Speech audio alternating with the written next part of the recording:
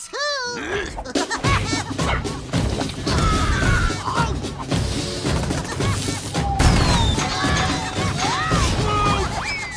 The Wilderness Games. It's a lame tradition where every summer we get our butts kicked by the other camp.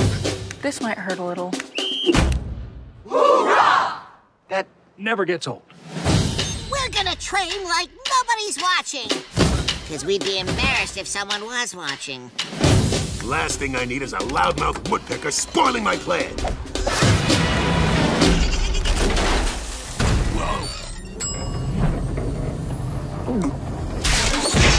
Let the games begin!